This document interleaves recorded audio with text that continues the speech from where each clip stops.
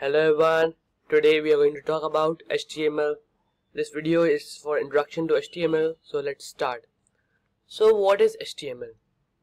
HTML stands for Hypertext Markup Language. HTML is a scripting language which is used to design web pages. Here is an example of HTML tag.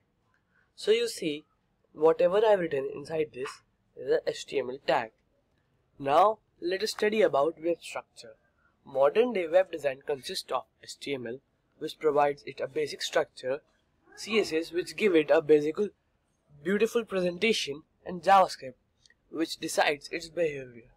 PHP or similar that's backend, that's a different story. I will provide you course for HTML, CSS, JavaScript and others.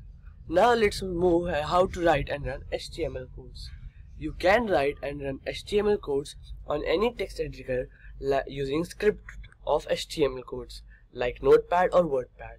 You just need to type in the HTML codes in the Notepad or WordPad and save it with the extension of .html. So here's an example that my file's name was ht and I have saved with the name at .html.